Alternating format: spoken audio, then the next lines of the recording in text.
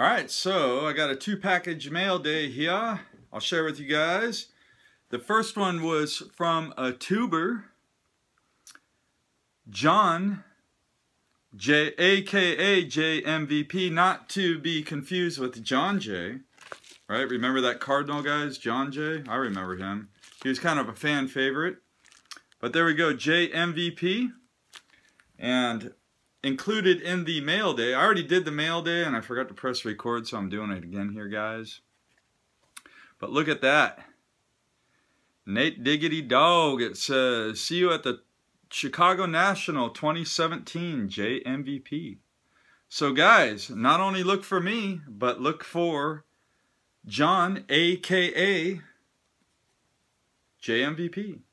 Really cool there, and then look on the back of this. JayMVP one of one. Awesome YouTube PC. So thank you so very, very, very, very, very, very much. And I can't wait, can't wait to meet up with you at the 2017 Nationals in Chicago. Guys, I'm going to put JayMVP's link down below. Make sure you check out his channel. Um, he had a really, a really cool uh, meetup with um, Jack Frost not too long ago. And they were busting packs and they both recorded the pack busting. And so you get the pack busting from two different points of views if you watch both the videos. So guys, go check them out. Check them out. Fun times, fun times. So he sent me some pretty awesome cards here, and so I'm going to get started. The first one is this awesome Madison Bumgarner. And he's doing a rehab assignment right now, so he should be back up on the, the big league club probably after, sometime after the All-Star break. Maybe uh, the first start after the All-Star break, we'll see. Then there we go with a nice Topps insert. And then we got a Buster Posey Finest. So Jay, blowing up, blowing up the uh, the Giants PC, Mr. JayMVP. I like saying it like that, JayMVP. There we go with Buster Posey. Another really awesome Buster Posey. And I love this card. This card's just stunning. But check out Mr. Willie Mays staring down the barrel of the bat. Very cool.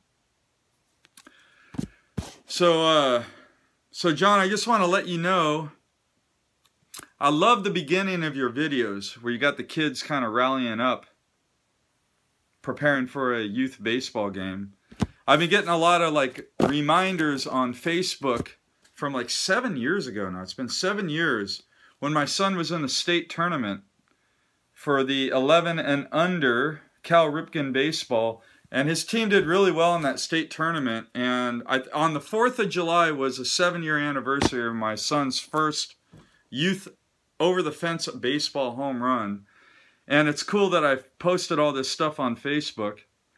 There's a there's a nice card too of a Mad Bum jersey card. Anyways, I posted on Facebook. He went. They played a doubleheader. My son went four for five with two doubles and his first over the fence home run.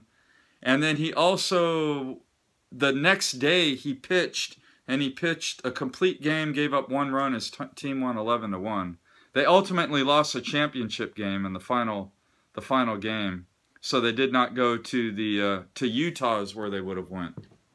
But man, that just brings back memories, and I, I love your your intro video clip on your videos. So just thought I'd share my just a small experience I had as a dad and and youth baseball. Man, I, th those are fun times. My son, he's 18 now, but when he was 11, that was a lot of fun. Seven years ago. I can't believe that was seven years ago already. That was the best 4th of July ever. The 4th of July where he hit his first youth over the fence home run.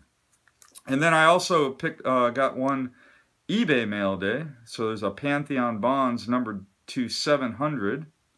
So there we go, guys. That is my mail day. And again, John, thank you so much.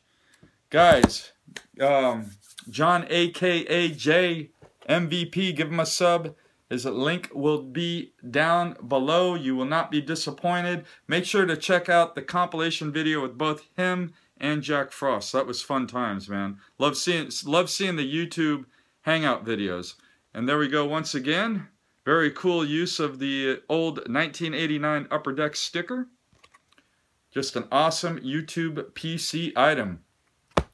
Happy collecting, guys.